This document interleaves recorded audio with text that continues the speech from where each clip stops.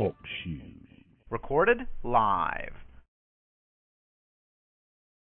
Hello, everyone. This is Terry Lynn here with University of Ucadia and Frank O'Collins from Australia here to speak with us on some more great educational uh, op- ideas and uh, some options for possible relief and hopefully get some light bulbs switched on. Today is the uh, 17th day of the 8th month, 2011. That would be the 17th of August, 2011, over here on the uh, states.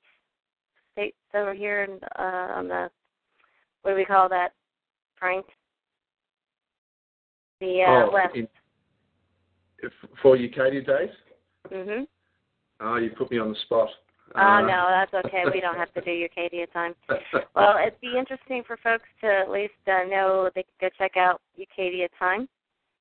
Uh, yes, I, I think if they go to uh, globe, G-L-O-B-E, hyphen union.org, uh, or even uh, or even one hyphen heaven.org, they all have the Ucadia time. You can go and look at the Ucadia time there. Yes, very good. Take a look at that. All right, Frank, uh, let's get the uh, things rolling here. I'll turn it over to you. Uh, thanks, Terry. Well, hello, everybody. Uh, thanks for coming on tonight, those that are listening live, and also those that will be listening to this call later on. Uh, as we say each week, what we're trying to do here is present information that is coming from great research. Uh, not everything's coming from me. Much of this material is coming through conversations and fantastic work that a number of you, many of you, are doing. And as a policy, whenever we encounter important information, whenever we can find some way of validating that information, we want to share that with you as an open knowledge policy. So tonight, I'm looking forward to sharing with you some of the latest research and discussion on the question of what exactly are they doing to us from the time when we're born, from the time we're seven. And so the subject tonight, the topic tonight is going to be on the concept of what does it mean to be in interstate or intestate and the importance of wills. The other area I want to cover, and I'm looking forward to covering this because we haven't spoken about this before in much detail, is what is warrants? What is the mechanics of warrants? Obviously, warrants is an issue that many people have been affected by and many people still have issues with. And I want to share with you some of the insights and the updates to the canons on warrants. When we are talking about intestate, I, also want to cover the issue of birth certificates because I know in the last few weeks, and not just because we've spoken about it, but this issue of what actually is a birth certificate. Is it valuable? Is it merely a, a, a confirmation that we are some kind of peon from peonage or pauper? What actually is it? Because there are still lots and lots of active discussion on birth certificates. I want to add some more to that, and I want to hopefully clear up as much as we can do what we really mean by birth certificates and those questions. I also want to bring up to speed on the uh, package uh, that was due to go to Rome and is a few days late, but that package uh, should be and hopefully is up on University of Ucadia now. And so I want to share with you what that package is. And those of you who have offered in the past that would like to write, I want to uh, give mention to it, explain it, and, and show where you can go and see the Word documents and material. And uh, of course, just some housekeeping. We mentioned websites and some other things and updates to material. I want to go through and let you know where we're at with those things. So there's a few things to cover tonight, but let's get started right up front with this question of intestate and what are they doing to us from the moment that we're born and what does it really mean when we talk about wills. So as we have been going through and trying to uncover exactly what has the private bar guild, what has the Roman cult, and what has other groups done to us, we have debated and discussed different forms of remedy and different understandings. Some of these you will find are discussed by many groups. Birth certificates, for example, uh, declaring us dead is nothing new. This has been understood for some time, and, and, corporations are dead. These things have been out there in the truth movement for, for quite some time. At the same time, we have mentioned things like baptism uh, being a ritual that effectively cleaves your soul in their rituals, and even the word treasure being a hidden uh, description of the most ancient ritual of salvaging of souls in the placing of bronze coins on the eyes uh, or silver coins on the eyes and the mouth, and of course the transport of the soul across the river Styx to with the ferryman uh, as part of the ancient Egyptian belief system. When we've raised those things, part of the problem is getting a handle on how such a system could actually operate and getting on top of how such knowledge would be transmitted even to their own members.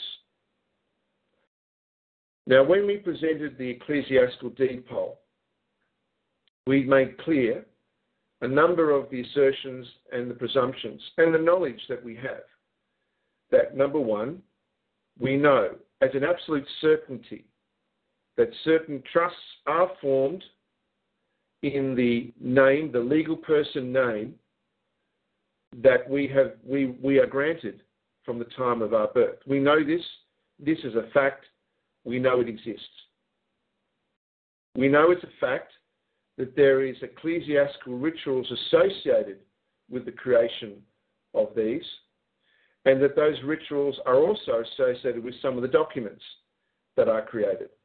Hence, the drop of blood in one respect, hence, the footprints of babies in another respect, hence, the use of the word and the name registrar. All these are associated with ecclesiastical ritual. But what we haven't done is we haven't taken the bigger picture yet and viewed the landscape with fresh eyes to see, with the knowledge we have, is there any evidence that may better describe for us the public face of these ecclesiastical rituals? Now, if we've spoken about court, I believe we have provided an abundance of evidence that, that concur and support that at the root of every court case in Roman court is the sacrament of penance. And we have been able to show that consistent with the sacrament of, of penance being a confession and a self confession, that we were able to reveal how they converted and perverted the role of the accusator in Roman law to the role of the prosecutus in order to claim that we ultimately confess ourselves, the prosecutor acting in our own skin.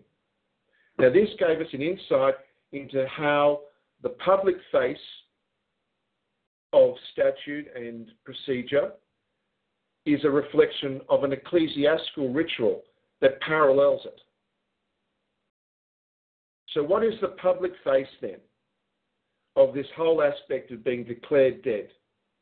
of baptism, of treasure, of the Sesta of all this hidden knowledge that we've discovered, which we still see through the ecclesiastical deed polls, a complete and utter stonewall. What is the public face?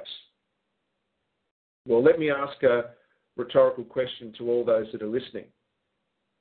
If you were to identify one consistent communication from the private bar guilds across the world, almost as if it was a public service announcement, what would be one of the most commonly spoken of subjects that almost every lawyer will say, and by the time we reach the age of 40, we probably have heard about it dozens and dozens of times.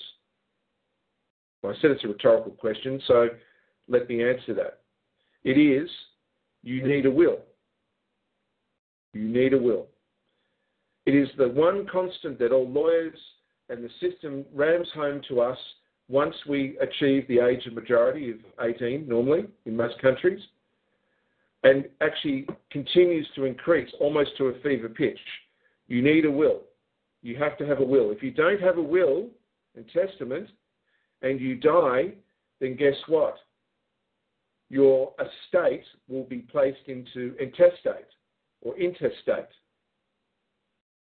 And we are told what that means. So, pretty much all of us can summarize what intestate means. Intestate means that without a will, your estate will be administered by trustees who will then assume the role of the executor.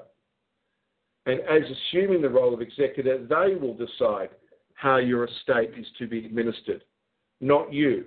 Why? Because you don't have a will. Well, this certainly sounds like not only a public service announcement,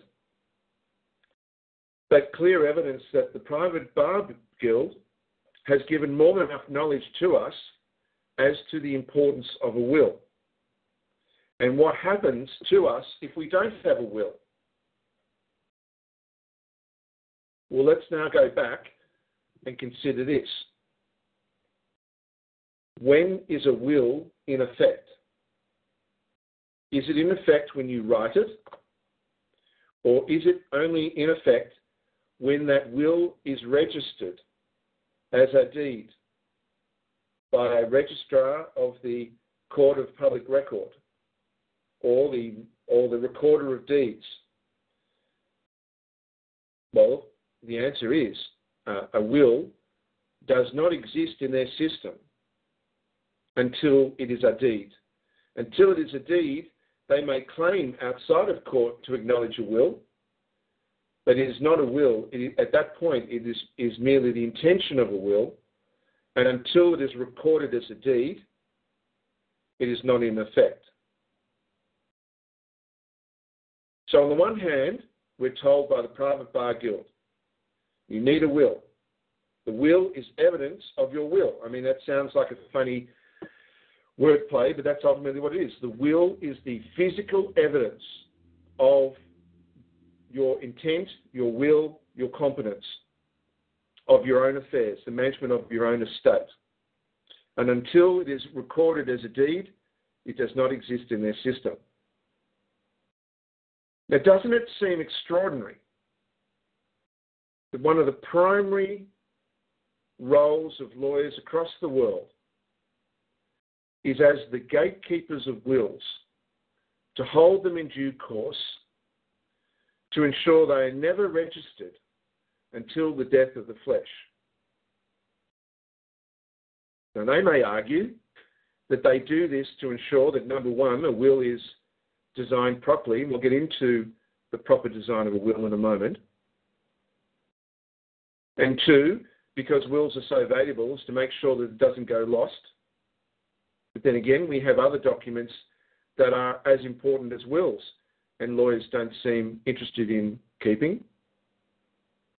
And of course, the third is to make sure that if we should die, that it can be recorded and executed. And the other one, the, they may argue, is the reason we don't submit it as a record, as a deed, until you pass, is that it may change. Well, of course, there is well established rules and examples of the modification of a will after it has been executed as a deed of trusts, and that's called codicils. And of course, the interpretation of wills and probate happens by courts every day of the week. And courts have been shown to modify wills every day of the week. So all of those arguments may sound reasonable superficially, but the one question is why are they not recorded? Why are they held until the very end? If it is so important that a will and the absence of a will means we're effectively intestate. Now, what is the public ritual that they do to us around the age of seven, around the age of reason, after seven years have passed? And under Cestui Que Use, if seven years have passed and the presumption that we are lost and abandoned